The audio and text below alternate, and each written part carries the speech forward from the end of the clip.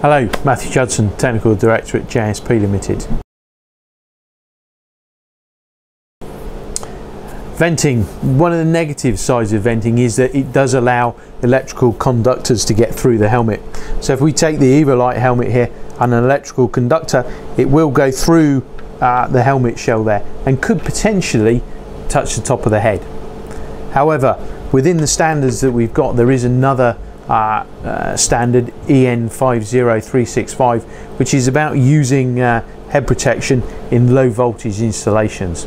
And it is possible to to have a helmet where you're working with stuff that's not actually going to go through the uh, through the helmet. So, if you large conductors, big bus bars, um, it would be acceptable to use uh, a vented helmet in that environment. But anywhere where you've got cables hanging down, which might come and go through a hole in the side of the helmet, then you wouldn't want to be wearing a vented helmet.